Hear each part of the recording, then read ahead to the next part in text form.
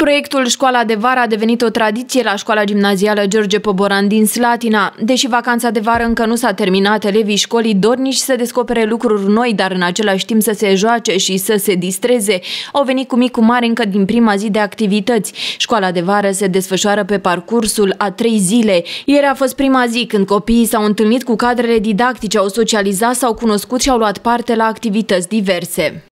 Credem că reușim să formăm o tradiție în ceea ce privește acest proiect numit Școala de Vară. Este a cincea ediție, uh, când colegii profesori, alături de copii care doresc să revină mai repede la școală, desfășoară diverse activități educative, dar în special bazate pe joc. Anul acesta, școala de vară se desfășoară pe durata a trei zile. În prima zi, activitățile s-au centrat pe recunoașterea importanței naturii, a mediului înconjurător pentru viața noastră în general, elevii fiind invitați să recicleze materialele, au confecționat diverse produse vestimentare din materiale reciclabile pe care apoi le-au prezentat într-o paradă a modei. Ulterior, inspirându-se din natură și folosind elemente din natură, au devenit uh, artiști plastici și-au desenat chiar și un autoportret încercând să sublinieze atât pasiunile cât și calitățile pe care le au, prezentându-le apoi celorlalți, uh, accentuându-se lucrul în echipă pentru elevi. Astăzi, cea de-a doua zi din cadrul proiectului a debutat cu o plimbare până în Parcul Pitești, unde copiii și profesorii s-au așezat la picnic. Au fost inițiați în arta cusutului, dar au pornit și în căutarea de comori. Acțiunea se derulează până pe 1 septembrie. Am prins și o, și o zi din toamnă, dar uh, poate și acest lucru este un uh, lucru inedit. Activitățile, ca de obicei, uh, sunt distractive, se desfășoară sub formă de educație informală, non-formală, copiii învață să socializeze, le-a fost dor după vacanță să se întâlnească.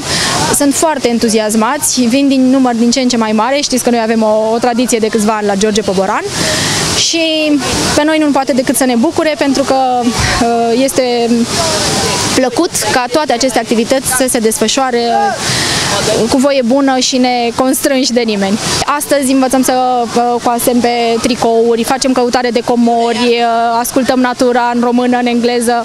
Copiii au luat parte la activități și ieri, iar astăzi au venit în număr și mai mare, bucuros să socializeze, să-și revadă colegii, prietenii și profesorii și nerăbdători să înceapă școala. Mă numesc Becheanu Maria și am aproape 13 ani și sunt în clasa a 6 la școala George Poboran. Uh, astăzi am venit în acest parc um, să ne relaxăm și să facem activitățile care uh, au fost uh, propuse. Îmi place că putem să ne petrecem timpul alături de prieteni și totul este relaxant. Mă cheamă Margarita Adrian Ionuț, am aproape 12 ani și azi am venit să, coa- să coasem. Îți place la școala de vară? Da. Ai mai participat și în alți ani? Nu, ăsta e primul an. Te bucuri că ai venit? Da. Ești cu colegi de clasă? Cu cine mai? Cu colegi de clasă, e și sora pe aici.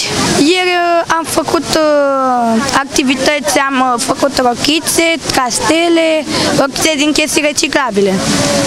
Castele, am scris despre noi, am povestit cu colegul din uh, partea dreaptă. În vacanță ce ai făcut? Te bucur că se apropie începutul de an școlar? Da, cât de cât. Astăzi am venit în acest parc să admirăm priveliștea și să facem diferite activități. Uh, acum, de exemplu, coasem o inimă decupată de noi dintr-un material vechi pe un tricou pe care nu-l mai foloseam și practic dăm uh, o nouă viață unor lucruri pe care se puteau să fie aruncate. Îți place la școala de vară? Da, îmi place foarte tare. Am fost și ieri și voi veni și mâine. Ce ieri ce ați făcut? Uh, ieri uh, ne-am cunoscut cel mai tare și am făcut activități pe terenul școlii. Mâine, în cea de-a treia și ultima zi a acestui proiect, copiii vor avea kendama, șah, badminton, muzică și dans, toate ingredientele necesare pentru o zi memorabilă dintr-o altfel de școală în vacanță, când vor trece pragul școlii din plăcere și nu din responsabilitate. Mâine, în cea de-a treia zi, activitățile se centrează pe activități sportive, diverse jocuri, șah, kendama, badminton și altele. Și de fiecare dată, în fiecare zi, toate acestea fiind acompaniate de ritmul muzicii. Vă bucurați de prezența multor copii, am văzut. Uh, sigur că da, în fiecare an numărul copiilor este tot mai mare, a celor care doresc să participe la astfel de activități, chiar dacă este încă vacanță.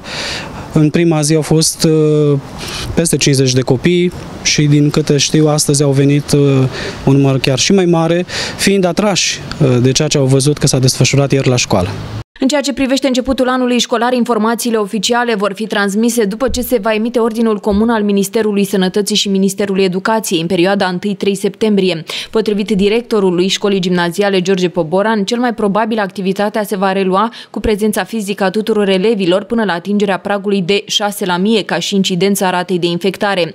Incidența acumulată în ultimele 14 zile la nivelul județului nostru este de 0,28 la mie de locuitori, astfel că anul școlar va debuta cu siguranță în condiții condiții normale. Cu siguranță că vom începe anul școlar în condiții optime, normale, ca și în anii anteriori, până să înceapă pandemia, adică cu prezență fizică la școală 100% a tuturor copiilor. Se va desfășura în prima zi festivitatea de deschidere, așa cum am organizat în fiecare an. Cea de-a cincea ediție a proiectului Școala de Vară se va încheia mâine, când elevii vor lua parte la întreceri sportive, dans, dar va avea loc și o festivitate de premiere.